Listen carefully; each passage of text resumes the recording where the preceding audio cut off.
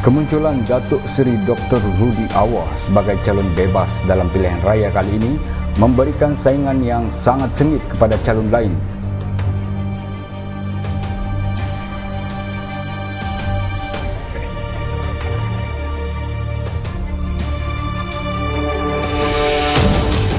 Siapa Datuk Seri Dr. Rudi Awar? Rudi Awar adalah anak jati pitas rumahnya dapat dilihat dengan jelas hanya di tepi jalan di kampung Selimpadun Laut Pitas. Kenapa Datuk Seri Dr. Rudi Awak adalah pilihan untuk diundi? Yang paling penting ialah kesungguhannya lebih terserlah dalam usaha mendekati rakyat dan telah membuktikan kesungguhan tersebut. Rudi tidak mempertaruhkan pengaruh parti sebagai kekuatan tetapi meletakkan dirinya dan pencapaian cemerlangnya sebagai pemimpin di Pitas untuk modal meraih sokongan pengundi Pitas. Rudi adalah pemimpin fleksibel di Pitas yang bukan sekadar turun di gelanggang rakyat ketika memerlukan rakyat tapi sudah bersama rakyat sekian lama menabur bakti dan jasa, mendengar keluhan, melakukan kebajikan dan membantu rakyat Pitas. Rudi adalah pemimpin yang bukan bermusim.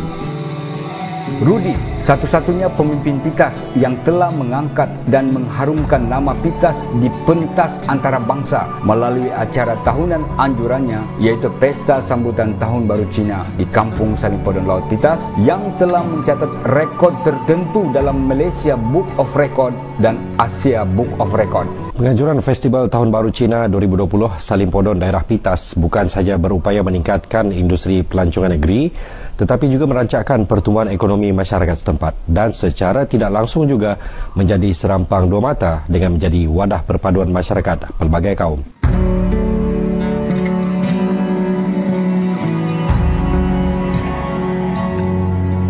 Rudi adalah anak jati pitas yang lebih boleh dibanggakan dan telah membuktikan kesungguhannya untuk memertabatkan pitas di mata dunia.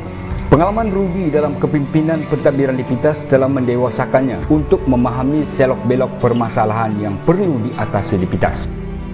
Oleh itu, Rudi telah menyediakan pelan rancangan untuk memajukan Pitas melalui lima tonggak utama manifesto perjuangannya iaitu dalam hal pentadbiran, perpaduan, pembangunan modal insan, pendidikan dan ekonomi desa.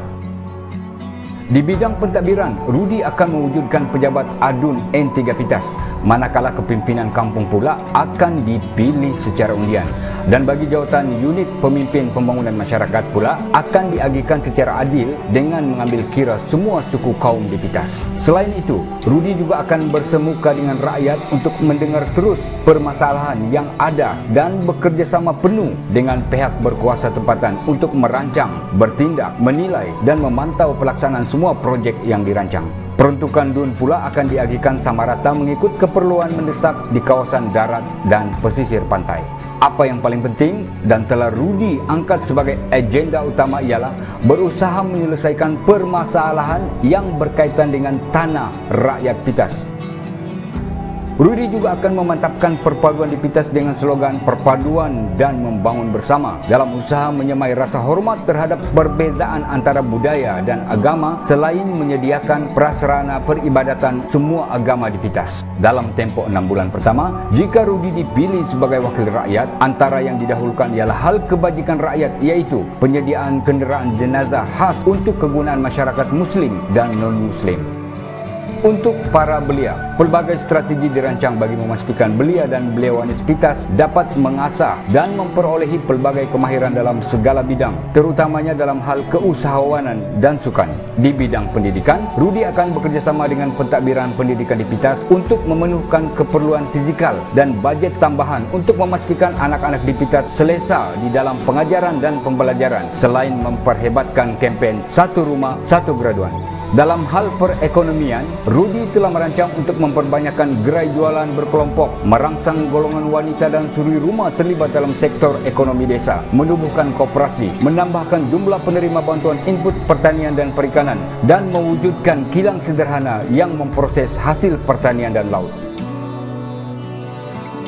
26 hari bulan September 2020, N3 Pitas memilih calon wakil rakyat terbaik.